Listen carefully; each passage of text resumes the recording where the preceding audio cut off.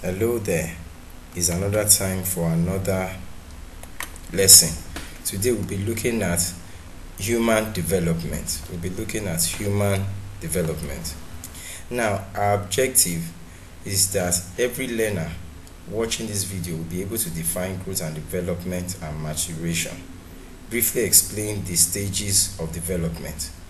You should be able to describe the factors affecting growth and development and list the temporary and permanent changes in growth and development. Now, have you ever wondered why we don't remain the same after we are born? Now, every living organism undergoes changes at various times in their life cycle, and these changes are observable. Now, we are going to look at what causes these changes and the factors that affect these changes. And that is why in this lesson we will be looking closely at the changes that living organisms undergo and explain the factors that affect those changes.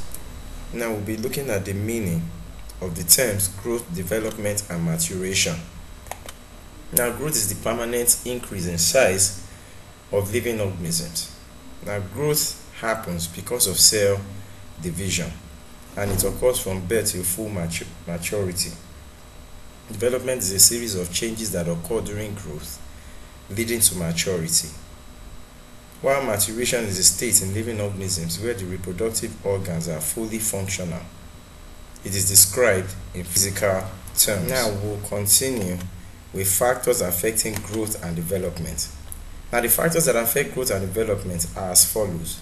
Food, heredity, glands or hormones, diseases, exercise and rest, love and care. Now I'm going to be explaining how these factors affect growth and development one after the other. So starting with food. Now we all know that food is essential for growth and development. Food is the main source of energy for any individual. So without eating food, we would not get the required energy that we need even to carry out the various functions, even um, are various activities and, and functions of the body. The body will not function right.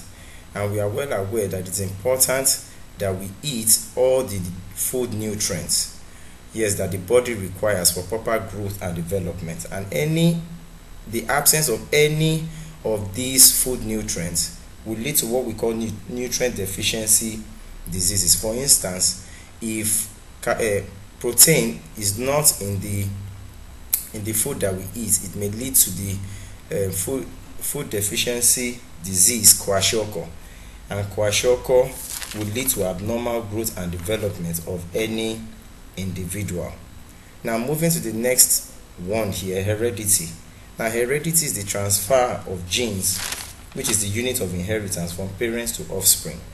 Now, heredity determines even the characteristics that we have because they are the ones that we inherit from our parents. And that is why we look like our parents in so many ways. Now if our parents if both parents are tall definitely the child is likely to be tall. Now if both parents are short then the offspring that they give birth to is likely going to be short. Now if the parents have a large body size there's a probability that the offspring too will have a large body size. So heredity determines so many traits that we inherit from our parents, which in turn determines our growth and development. Now moving on to glands. Now glands secrete hormones. Glands secrete hormones and these hormones are essential for our growth and development.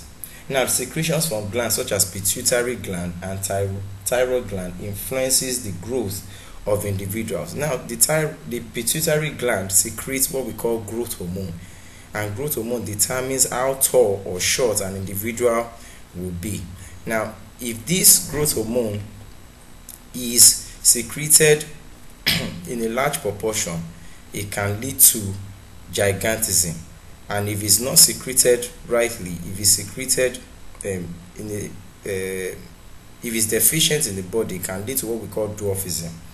Now, the thyroid gland also secretes hormone tyrosine, which is necessary for our metabolism, which um, is essential for our growth and development, and its absence will result in what we call cretinism. So, glands play a crucial role in our growth and development.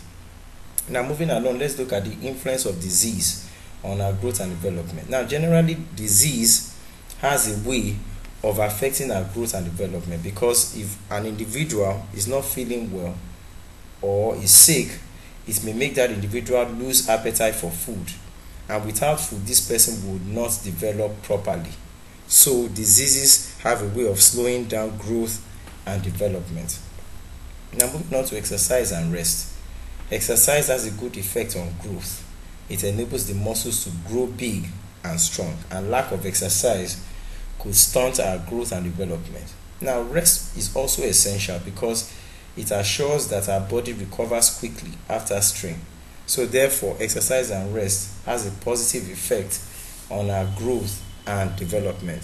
Moving along to love and care. Now, generally, an individual that receives love and care will definitely grow up very well, and lack of love and care could stunt an individual's growth. So, love and care plays a crucial role or has a positive effect in our growth and development. Now, moving along, we'll be looking at those temporary and permanent changes in growth and development. Now, the temporal changes include pimples in males and females at adolescence, fatness, enlargement of stomach after a meal or intake of water. Now, these changes are temporary. In other words, they are reversible and will disappear after some time. Whereas permanent changes in growth and development are those changes that remain throughout life.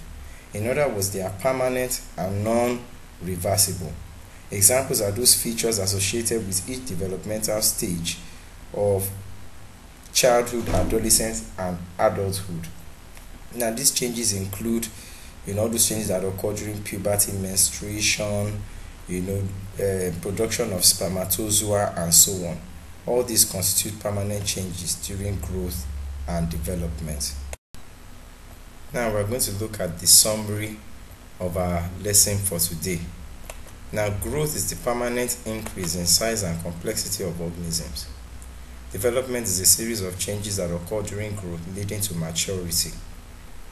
Maturation is a state in living organisms where the reproductive organs are fully functional. Now, there are various factors that affect growth and development, and these factors are food, diseases, heredity, hormones, exercise and rest, and so on. Now, pimples in male and females at adolescence, fatness, enlargement of stomach after a meal or intake of water constitute temporary changes in growth and development. Now, the various features associated with each developmental stages of childhood, adolescence, and adulthood will constitute the permanent changes in growth and development. Now that we have come to the final part of our lesson for today, I want to pause this video and try to answer these questions on your own and see how much of the lessons that you have imbibed and I'll see you next time. Bye bye.